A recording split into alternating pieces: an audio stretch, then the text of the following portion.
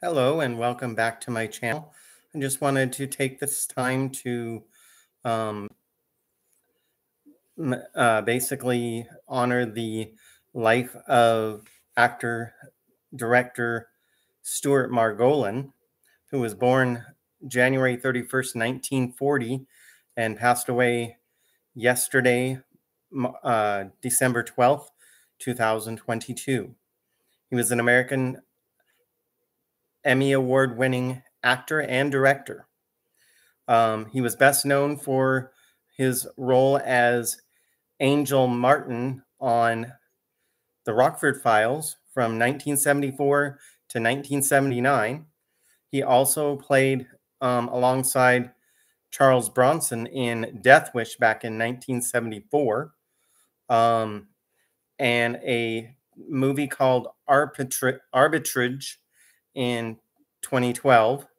Uh, he was also on Kelly's Heroes as Private Little Joe in 1970, and um, also in a movie called What the Night Can Do in 2020. Um, along with that, he was in a movie called, I mean, a TV show called Tom Stone, where he played uh, in or uh, Jack Welch from 2002 to 2004. Um, he also was in multiple, um, and I do mean multiple, Rockford Files um, made for TV movies. Um, he was in, and I'm just going to quickly name off the different uh, titles that they used.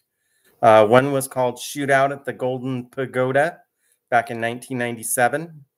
Um, Punishment and Crime in 1996 uh, Friends and Foul Play in 1996, Godfather Knows Best in 1996, If the Frame Fits in 1996, A Blessing in Disguise in 1995, I Still Love LA in 1994.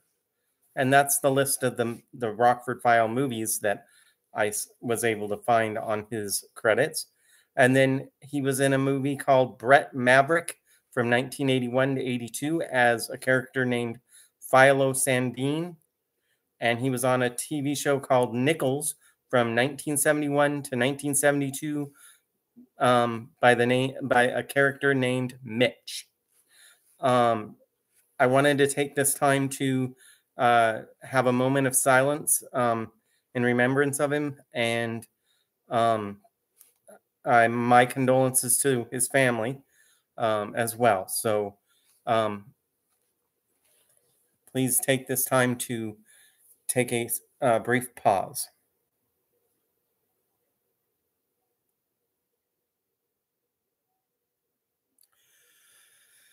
If you enjoyed this content, feel free to hit the good old like button, subscribe if you haven't already, and share this with somebody you think might get a kick out of it. Also, thank you for watching, and I hope to see you in the next video which should be coming up rather shortly. Have a wonderful afternoon and God bless.